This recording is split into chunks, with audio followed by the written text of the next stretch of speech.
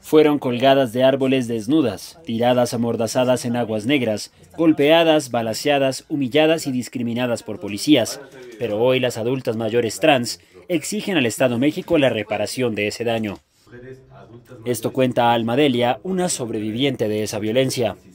Fue una, una guerra sucia para nosotras y yo creo que nosotras las mujeres trans, antes las vestidas, fuimos muy, muy, muy discriminadas, muy perseguidas por la policía.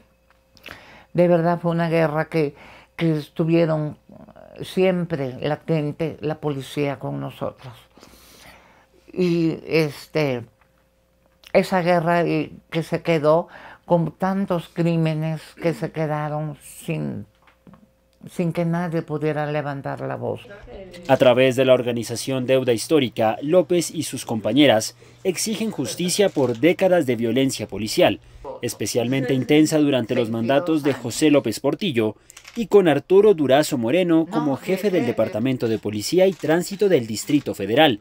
Así lo manifiesta Verónica López. Agarraban, éramos objeto de violencia hacia nuestra persona o por nuestra preferencia, éramos este, sometidas, éramos encarceladas injustamente, este, muchas veces nos llevaban y nos amarraban colgadas de los árboles en lo que todavía hoy se conoce que es el ajusco, pero ya del ajusco no tiene ni la mínima parte de lo que era antes, y ahí desnudas, semidesnudas, colgadas de los árboles, y pues este...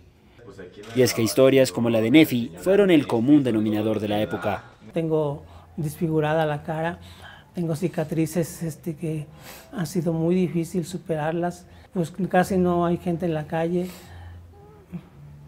no sé cuál fue el motivo, no entiendo precisamente cuál fue el motivo, pero me agredieron, me empezaron a insultar, luego se bajaron de un carro en el que iban, este, yo traté de defenderme, no pude, no pude porque pues eran dos contra mí.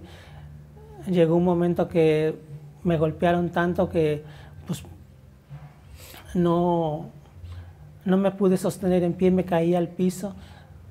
Ahora, aunque reconocen la importancia de los cambios que ha habido en cuanto a la visibilidad, exigen que las autoridades se hagan responsables y reparen todo el daño.